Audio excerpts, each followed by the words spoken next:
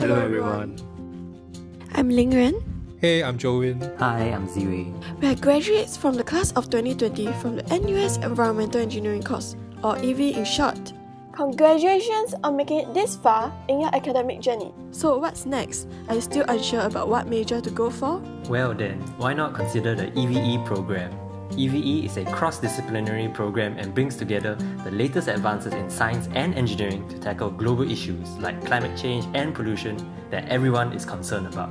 If this interests you or you need more convincing, continue watching to find out 5 reasons as to why you should take part in this NUS EVE experience. Firstly, I'm sure many of you know how reputed NUS is globally. It is a major comprehensive uni within Asia.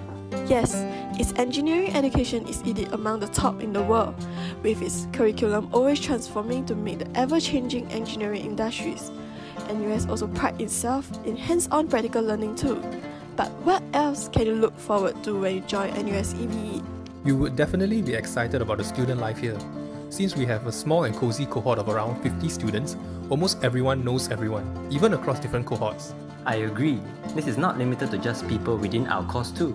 There will be many orientation camps across the university where you can meet people from other courses. For example, we have the CIS camp, where you get to orientate yourself and make friends with the civil engineers too. But do not worry if you missed it. There are many other opportunities to meet people too. The Environmental Engineering Student Club organizes events throughout the year, such as the Cohesion Day, Annual Sports Day, Mid Autumn Festival, and even environmental engagement activities like Global Youth Summit. Yes, I vividly remember the cohesion day when the three of us from different paths met and stuck together as friends throughout the four years. We highly recommend you to attend this. Thus, student life is definitely a main reason why NUS EVE is a great choice. But what else can you look forward to? Personally, I also loved EVE because of its educational content. The modules provide us with useful technical knowledge about environmental science and technology, like the design project where we can try designing an environmental pollution treatment plant. There is also the final year project where we have to do intense self study and plan experiments on our own. These modules teach us not only scientific knowledge but also important soft skills like communication and independent thinking. Yes, I agree. There's even a module that allows us to apply our knowledge towards innovating actual solutions for real communities in other countries. This grooms us into innovators and problem solvers. Also, NUS offers a myriad of minors for you to choose from, which you can take to broaden your knowledge and skill sets. The three of us took a minor in geosciences as we are keen to learn about our physical environment. Personally, I learned about the different sides of environmental issues through this minor, which gave me a more holistic perspective when designing solutions to various environmental issues. Now, I bet you guys are also wondering about the overseas opportunities in EVE. Well, fret not, there are many avenues that allow you to travel, learn, and experience. Our own student club actually organizes an annual OCIP called Project Oceanus. It was a great experience that strengthened our bonds as we contributed to societal and environmental causes. So, if you want to do something for the community with the knowledge from this course, do join them. Besides this, let's talk about exchange. With NUS flexible curriculum, many students get the chance to sneak in a student exchange program into their university life. NUS also offers over 300 worldwide partner universities for you to choose from.